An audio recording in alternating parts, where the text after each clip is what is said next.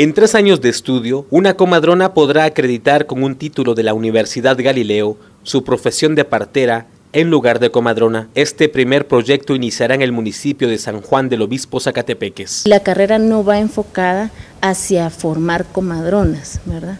Sino va enfocada a formar parteras, la mayoría son jóvenes, ¿verdad?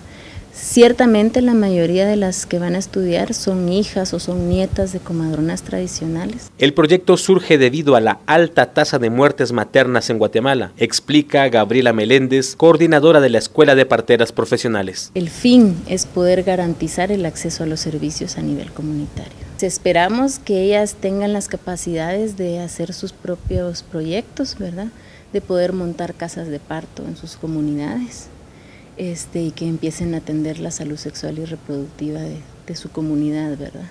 En Guatemala la tasa de muertes maternas es de 139 por cada 100.000 nacidos vivos, la cifra más alta en Centroamérica. Desde que se enteró que estaba embarazada, Ingrid, una mujer de 20 años, acude cada mes a su control prenatal en la clínica Manos Abiertas que funciona en Ciudad Vieja Zacatepeques.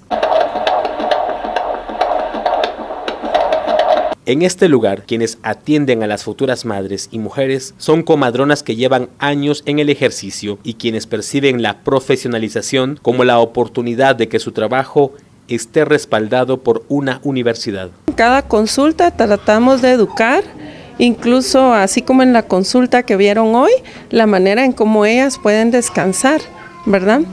Eh, si hay algo, eh, digamos, en, en, el peso de la mujer o en su hemoglobina, digamos, si tiene algún grado de anemia, también tratamos de educar mucho en lo que es su dieta, ¿verdad? En lo que está comiendo diariamente.